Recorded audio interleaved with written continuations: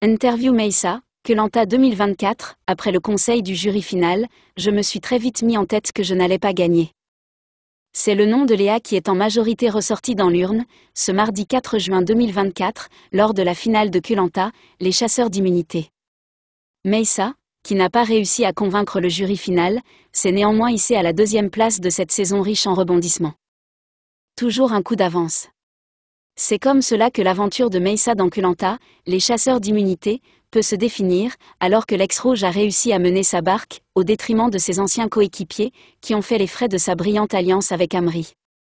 Perdant face à Léa, le finaliste de cette saison aura marqué les esprits, lui qui s'est confié à Voici.fr sur son inoubliable parcours.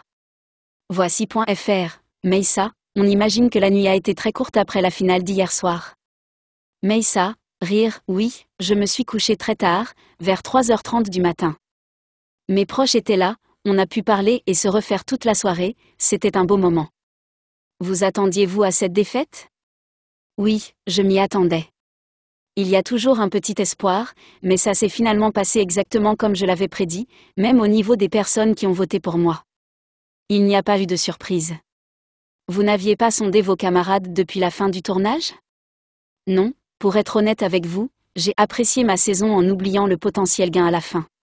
En sortant du conseil final l'année dernière aux Philippines, j'avais le sentiment que le jury final n'était pas avec moi. Je me suis très vite mis en tête que je n'allais pas gagner. Il y avait du monde pour vous hier en plateau, vos proches ont-ils été déçus par cette deuxième place? Ils ont essayé de me rassurer en pensant que j'étais déçu, mais je ne l'étais pas. Ils sont tellement fiers et ça me rend moi-même très fier. Qui auriez-vous choisi si vous aviez remporté les poteaux? Ça aurait été un choix très difficile, mais je pense que j'aurais choisi Julie.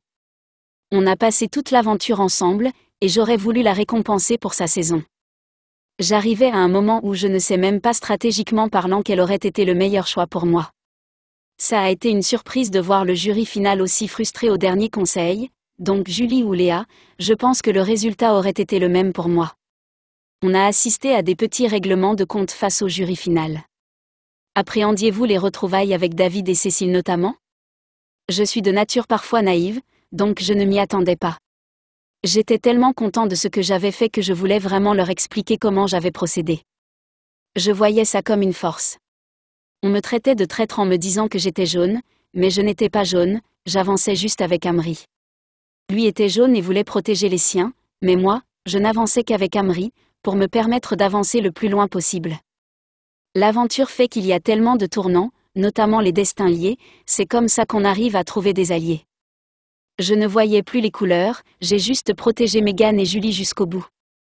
Je comprends leur frustration, mais je ne la partage pas forcément. Il y a 22 aventuriers, 22 vérités différentes. Avez-vous pu mettre les choses à plat avec David, qui semble être le plus blessé par votre alliance avec Amri? Il a été blessé, mais je pense qu'il a totalement tourné la page. Hier encore, on en rigolait. Il m'a expliqué sa déception et je l'entends. Il y a 22 aventuriers, 22 vérités différentes. Sa vérité n'est pas forcément la mienne. J'ai utilisé mes armes et mes alliés dans l'aventure pour aller le plus loin possible, je n'ai aucun regret. S'il a été un dommage collatéral. D'ailleurs, je ne le vois même pas comme ça, car on est allé loin ensemble, et c'est lui qui a voté contre moi au Conseil avant même que je ne vote contre lui.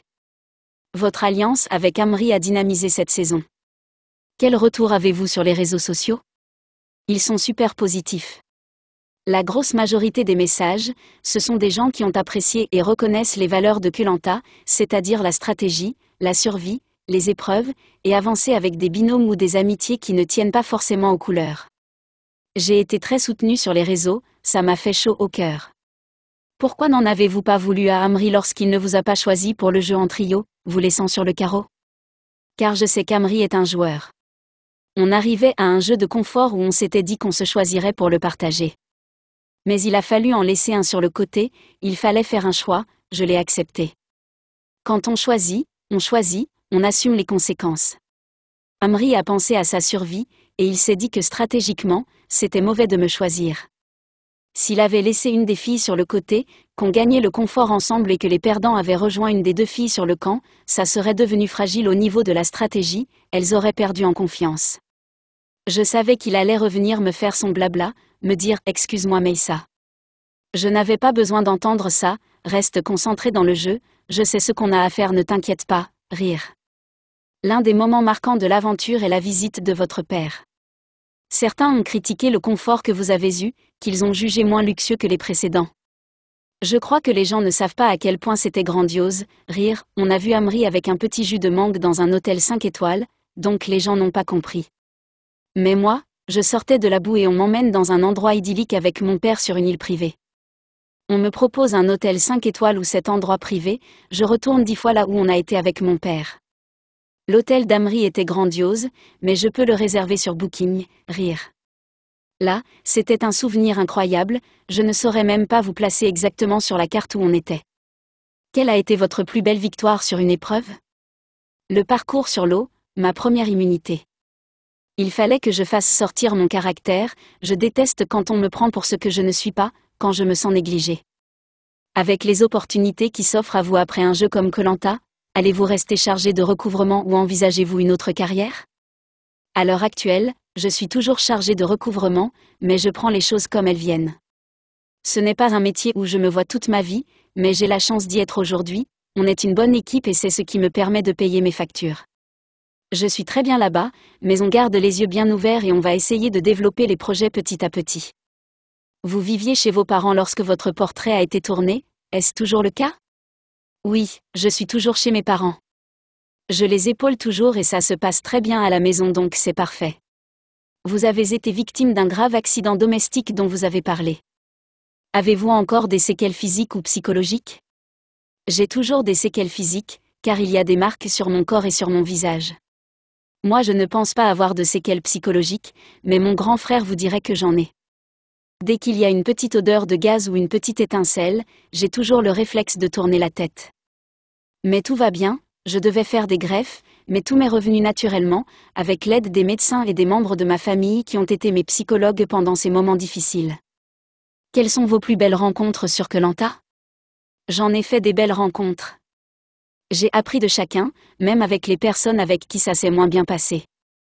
Mes deux plus belles rencontres, ce sont Ricky dans ma première partie d'aventure et Amri dans la deuxième. Ça a été mes deux frères d'aventure.